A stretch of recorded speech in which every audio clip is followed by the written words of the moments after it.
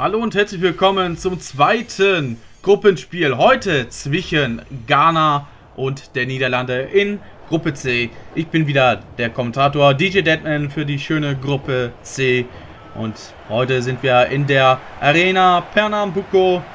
Das Stadion ist natürlich in Massen ausverkauft und hier sehen wir niederländische Fans und auch die Fans von Ghana. Und wir sind auf 90 Minuten sehr gespannt drauf. Und jetzt gleich geht es los. Und die erste Frage, die wir uns stellen, wer setzt sich hier heute durch? Werden wir heute Tore sehen? Wir hören erstmal die Hymne von Ghana.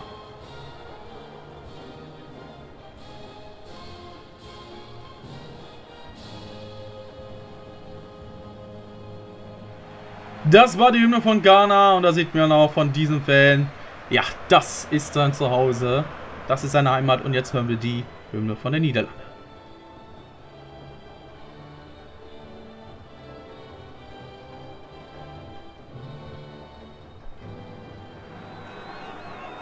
Das war die Hymne von der Niederlande. Da sehen wir ein, ja, ein Public Viewing der Niederlande und heute ist einer Kauao von Bolivien, der Schiedsrichter für diese Partie. Finde ich gut.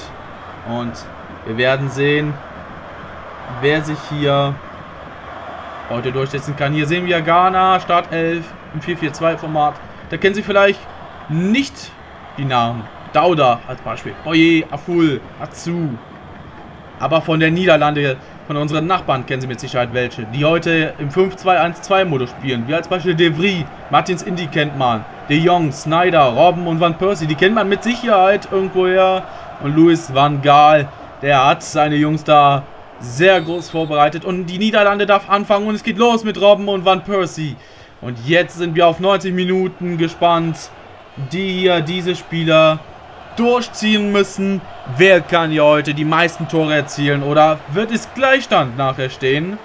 Wie in der letzten Partie zwischen Argentinien und Mexiko. Wer diese noch nicht gesehen hat, kann ich nur sagen, die muss man gesehen haben. Rabiu, jetzt erstmal zu Vares. Und auch hier gibt es dieses Ertasten der gegnerischen Mannschaft. Man möchte wissen, wer hier in dem Sinne der Stärkere ist und man möchte wissen, wo die Schwächen sind. Das ist ja ganz klar.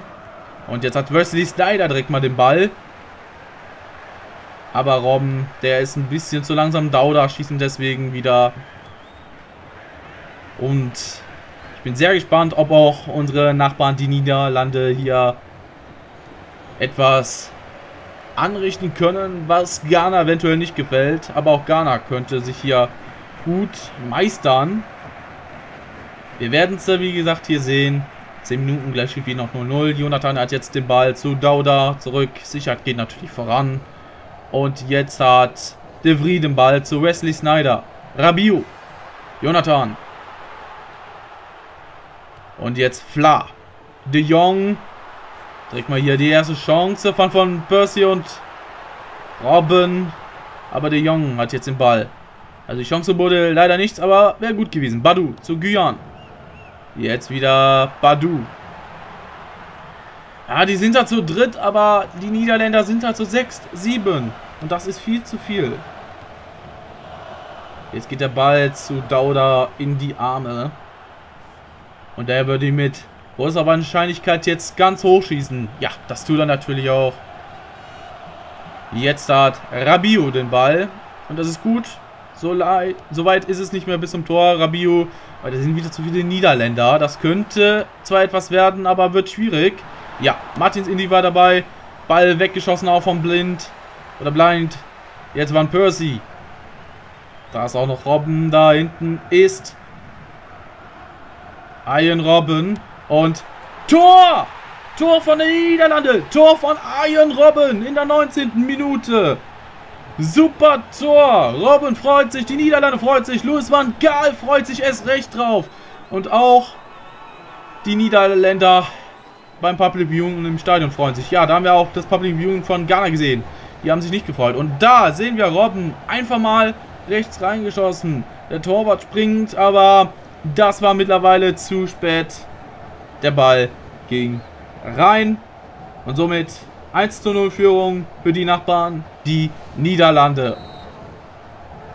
So, jetzt weiß Ghana, mit wem sie es zu tun haben. Mit der Niederlande. Mit Louis van Gaals Jungs. Die mit Sicherheit nichts davor schrecken würden, ja, noch ein paar Tore zu machen und Ghana nachher alt aussehen zu lassen.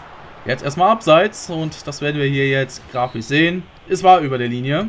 Auch wenn wir es gerade nicht sehen konnten. Vla. De Jong. Wesley Snyder wieder zu De Jong. Zu Blind. Oye, Badu. Atsu. Ghana gibt hier deutlich Gas. Sie versuchen sich nach vorne zu drängeln, aber Wesley Snyder jetzt. Jetzt zu Van Persie. Robin, aber der geht ein bisschen weit drüber. Aber es muss ja nichts heißen.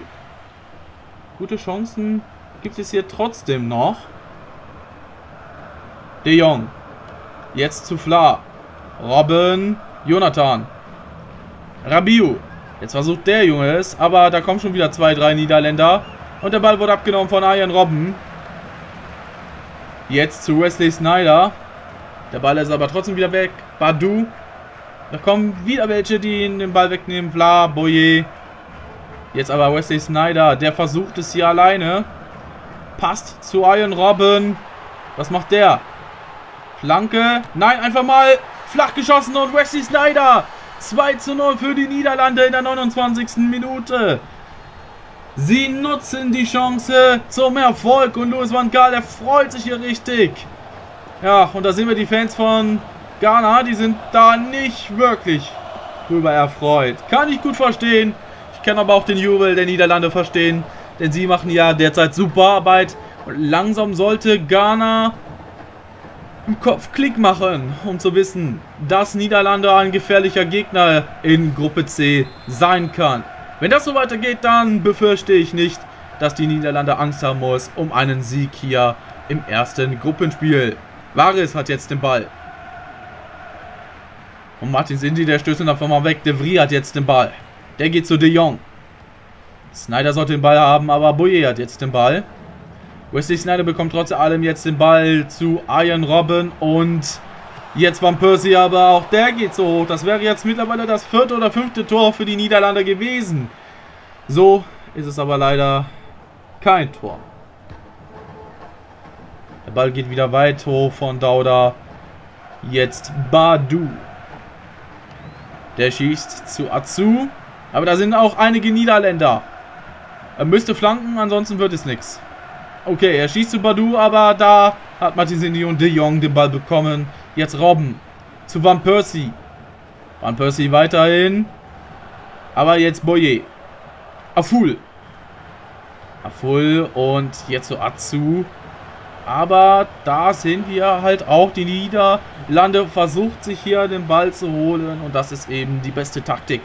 Einfach Ball wegnehmen, eventuell weggrätschen, ohne dass man den Gegner dabei erwischt und irgendwie eine gelbe Karte und einen Freistoß für den Gegner da reinbringt. Iron Robben hatte den Ball, jetzt hat er ihn wieder, jetzt die Chance, aber er geht knapp daneben.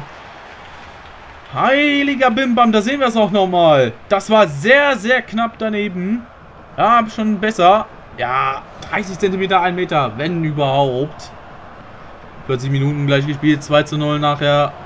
Nach wie vor für die Niederlande. Der Ball geht wieder hoch direkt zu Varis, aber der ist hier alleine und bekommt den Ball abgenommen. Jetzt De Jong. Aber auch Jonathan kann sich den Ball ja holen. Badu. Zu Rabiu.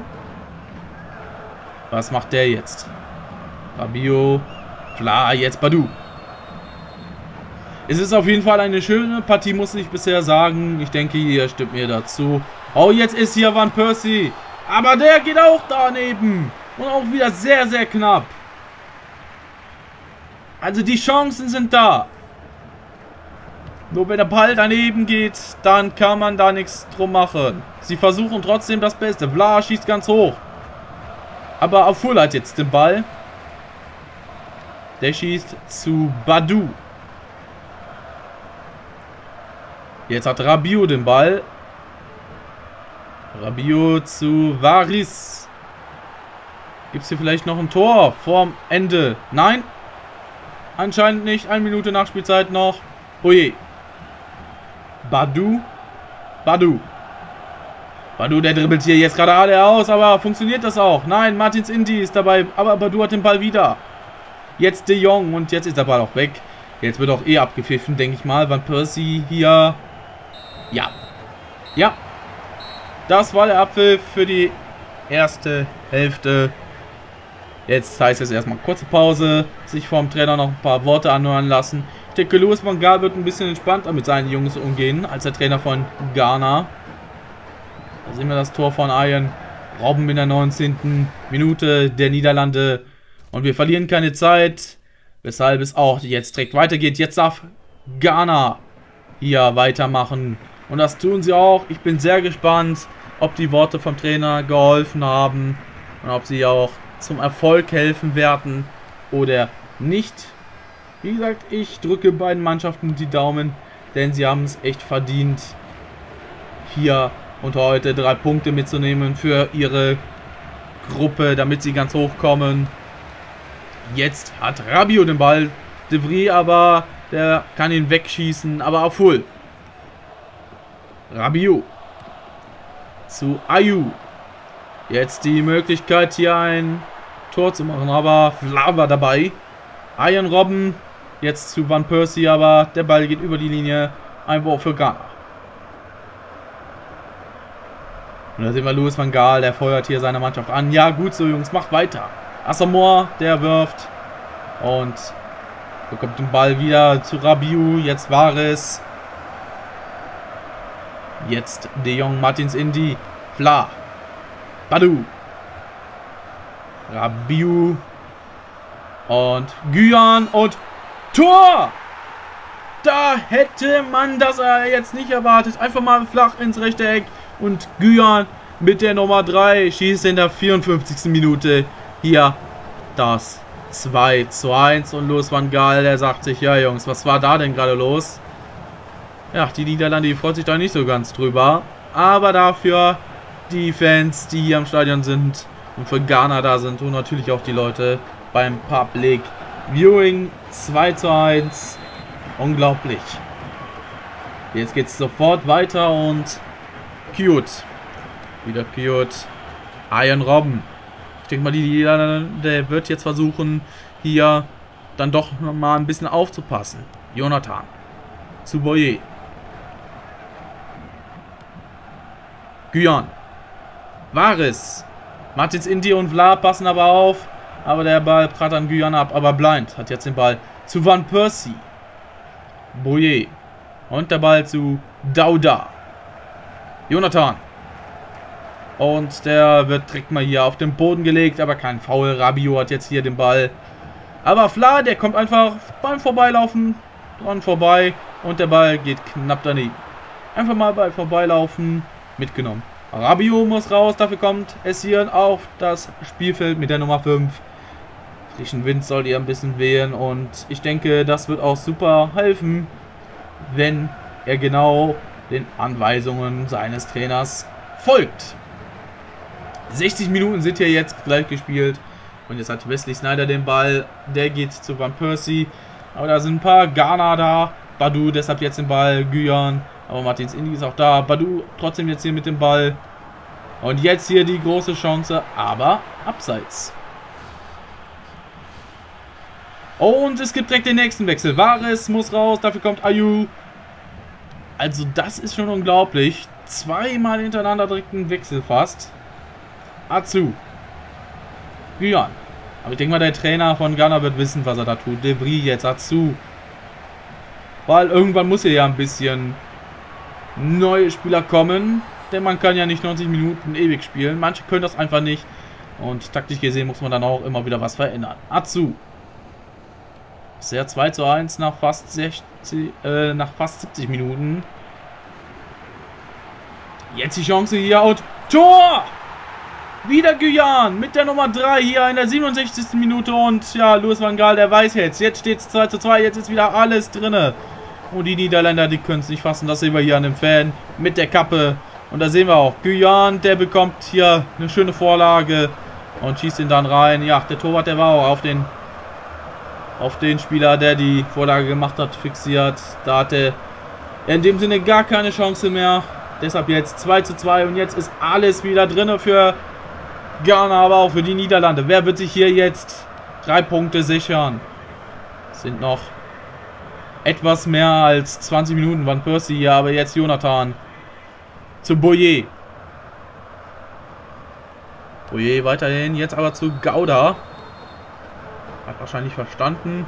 Okay, ich kann den Ball nicht weiterhin irgendwo hinschießen. Ich muss ihn dahin schießen. Jetzt Guyan. Der hat ja schon zwei Tore geschossen. Wäre unglaublich, wenn er auch noch einen dritten machen würde. Boyer. Auf Full. Snyder kommt dazwischen, aber Asamoah jetzt zu Badu. Und jetzt Ayu. De Vries. Asamoah. Asamoah kommt weiterhin gut voran. Aber jetzt De Vries, der sich den Ball einfach mal schnappt. Und Wesley Snyder. Aber Jonathan, der kommt dran vorbei. Oh, lauf weiter, lauf weiter, lauf weiter. Du hast den Ball doch noch. Aber verkackt. De Jong. Van Persie jetzt zu Wesley Snyder. Wo ist Ian Robben? Den sieht man auch nicht. Da hinten ist er aber. Er hat den Ball nicht. Ayu hat dafür jetzt den Ball. Aber De Jong bekommt den. Geht aber trotzdem zu Essieren von Ghana. Und jetzt hat Atsu den Ball. Aber man sieht, niemand will sich hier die Chancen verschenken. Und 3 zu 1! Äh, 3, 3 zu 1 sage ich schon. 3 zu 2! Wieder Guyan, der Hattrick in dieser Partie. Er hat drei Tore geschossen. Hat er sich das vorgenommen? Keine Ahnung. Aber er hat es geschafft und Louis van Gaal, der kann es echt nicht glauben, dass seine Mannschaft hier jetzt zurückliegt. Und auch die Fans bei Public Viewing können es einfach nicht glauben, dass die Niederlande hier jetzt mit einem Tor zurückliegt. Schönes Tor von Guyane in der 77. Minute. Aber jetzt die Frage, kann die Niederlande sich hier noch ein Tor holen und zumindest die drei Punkte an Ghana ja, wegblasen? Van Persie darf jetzt hier einwerfen und er schaut erstmal wohin. Asamoah bekommt aber direkt den Ball und er geht wieder über die Linie. Ghana darf wieder essieren. Ayu. Jetzt zu Atsu und der Ball soll weg. Es gibt Foul, aber Vorteil. Ayu. Jetzt ist die Niederlande hier ein bisschen frustriert. Das merkt man auch eventuell. Fla. Der geht weiter voran. Der will das jetzt hier alleine versuchen oder was? Keine Ahnung, aber Full bekommt hier jetzt den Ball von Ghana. Boyer. De Jong. Wesley Snyder. Wesley Snyder, aber Asamoah bekommt den Ball. Und jetzt zu Jonathan Badu. Badu versucht es weiterhin. Das wird schon ein bisschen schwieriger. Die Niederlande, die checkt natürlich jetzt, was hier abgeht. Und Foul. Gibt es eine Karte? Nein, aber ein Freistoß und eine mündliche Verwarnung. Und ein Wechsel. Da bin ich ja mal gespannt. Oh, Badu, der muss raus. Und wer kommt als frischen Ersatz für die letzten paar Minuten? Aqua. Ayu hat jetzt erstmal den Ball. Aber Van Persie nimmt ihn direkt ab. Ayu aber dann auch wieder. Die Niederlande versucht alles, um hier noch ein Tor zu schießen. Denn sie wissen, wenn sie das nicht schaffen, dann haben sie nur einen Punkt in der Gruppe C. Und das wollen sie natürlich nicht. Sie wollen natürlich gewinnen und in die nächsten Finale kommen. Ins Achtelfinale, Viertelfinale und so weiter und so fort. Jetzt erstmal Essieren. Aber Fla holt sich den Ball zurück zu Wesley Snyder. Und jetzt Van Persie. Der zu Robben. 90 Minuten sind jetzt und Tor! Tor von Ian Robben in der letzten Minute. Die letzte Chance in diesem Spiel und Louis van Gaal weiß, was das bedeutet. Es gibt keine Niederlage und Ghana, ja, da sehen wir es auch an dem Fan. Der ist frustriert, denn er weiß, blöd, jetzt haben sie doch ein Tor gemacht. Jetzt gibt es keinen Sieg, sondern mit hundertprozentiger Garantie ein Unentschieden und eine 1-1 Punkteteilung. Gibt es hier nochmal die letzte Chance hier, Jonathan. Ich bezweifle es weniger. Die letzten Sekunden. Van Persie. De Jong. Jetzt hier nochmal mit der letzten Chance eventuell. Aber das war's. Das war's. Es wurde abgepfiffen. 3 zu 3 Ghana Niederlande. Das war's in dem Sinne von diesem Gruppenspiel. Bis zum nächsten Mal. Euer DJ Deadman. Tschüss.